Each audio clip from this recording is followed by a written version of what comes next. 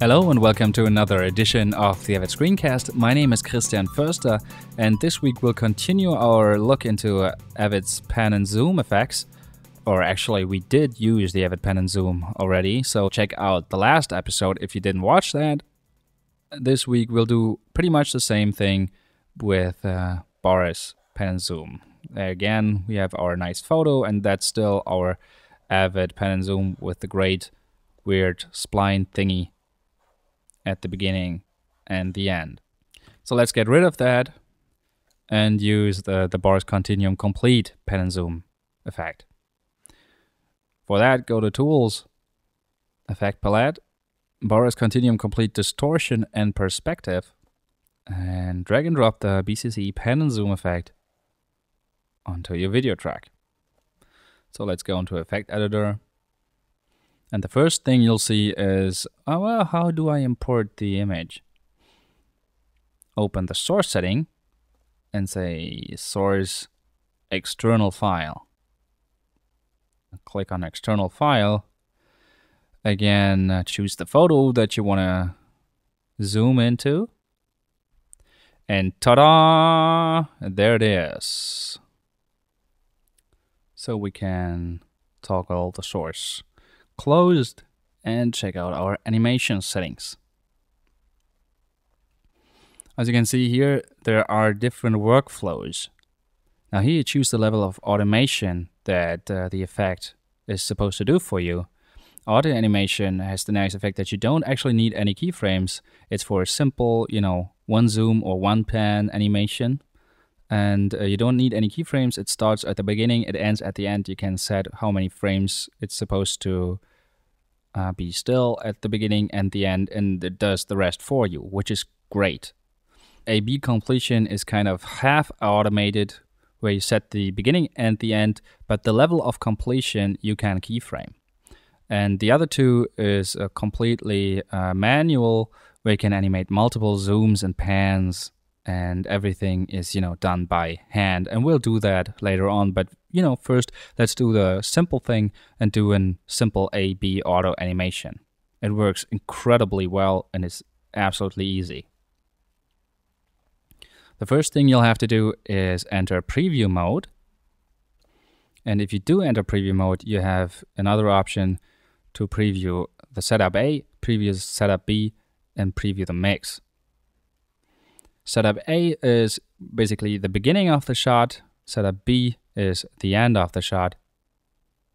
And as you can see in the composer window, there are your controls to change everything around. And there's also a preview window where you can see what it will actually do. So first let's do the same animation that we did in our last episode. We'll start with his face only. And you can see how easy it is to manipulate this. By the way, you can also rotate. It's it's incredibly easy to use with uh, this, you know, with these controls on screen. It's just it's just great. you know, the ease of use is really awesome. So let's say this is our start. Let's go to setup B, which is our last frame, zoom this out to basically full screen, something like this. So let's get out of preview mode. And there are a couple of more options that you can take. First one is the interpolation option, which is pretty much the same as the spline option in Avid's pan and zoom effect. So this is uh, the path that it will take, either a straight path or a spline path. Then you can manipulate how soon you want the uh, animation to start. The slider goes from 5 to 100, so it's it's kind of a percentage of uh, the duration that you have chosen for your animation. So let's go to 15 and 4 seconds in the end of still. So let's go to 20 and now it will start at roughly three seconds I guess. There we go. It starts and animates out. And you can set the ease curve, which you can also preview, and you can change the way it eases in and out of the start and the end of your animation, which is, you know, great and nice visual feedback as well. But you know, you can generally stick with the default here, which is pretty good the way it is.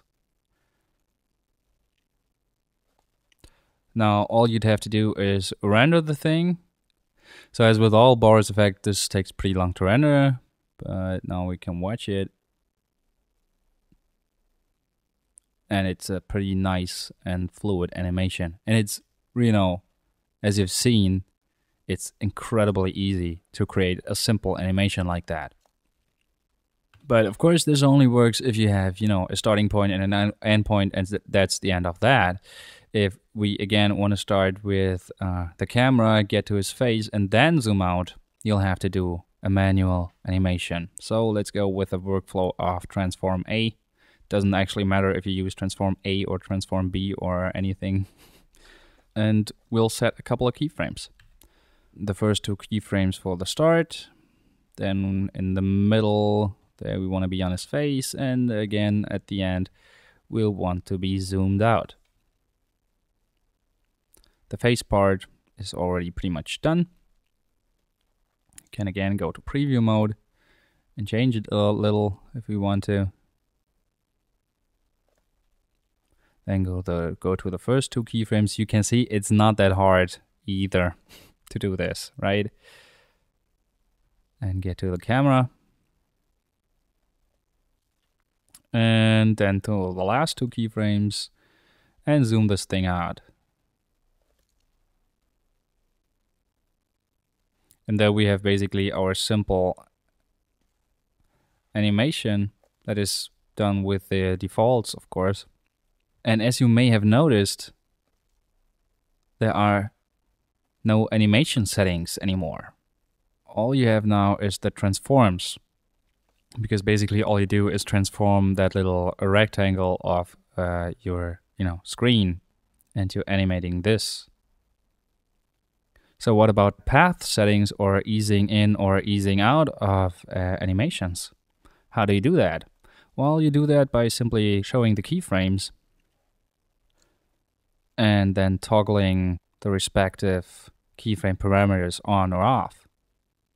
In this case, we can toggle the position parameters as well.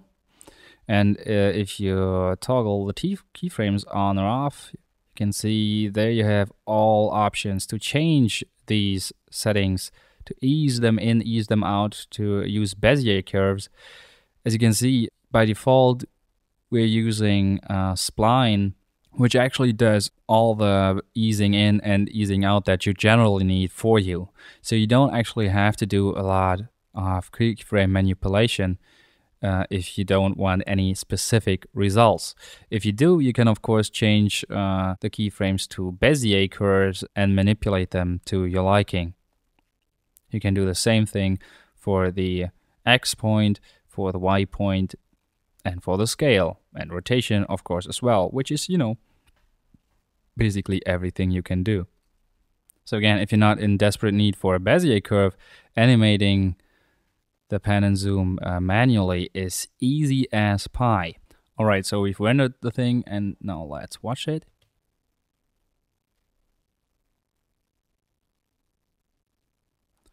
That is a pretty good result for what we've quickly done. Again, if you wanted to have an absolutely smooth animation here through his face, you would have to do that with the Bezier curves. But you can work that out on your own, I'm sure. Um, the only drawback uh, about the pan and zoom uh, by Boris is that it takes longer to render, significantly longer to render. But uh, you know, Avid's pan and zoom is not a very quick render either. So you know, if you have the time, use the the BCC pan and zoom. It's actually very very nice. All right, uh, now this is everything about pan and zoom that you'd ever wanted to know or even didn't. Um, and if you have any more questions or anything, just drop me a line at mail at avidscreencast.com and I will answer. Trust me. I may not know the answer, but I will answer. Uh, thank you for watching this episode of the Avid Screencast. If you like, go ahead and subscribe to the podcast at avidscreencast.com, where you can also watch past episodes and click the subscribe in iTunes link if you like. Don't forget to follow me on Twitter, twitter.com slash avidscreencast, and on Facebook, facebook.com slash avidscreencast. And if you want to see what I do professionally, check out editguy.de. Once again, thanks for watching. See you next week. Goodbye.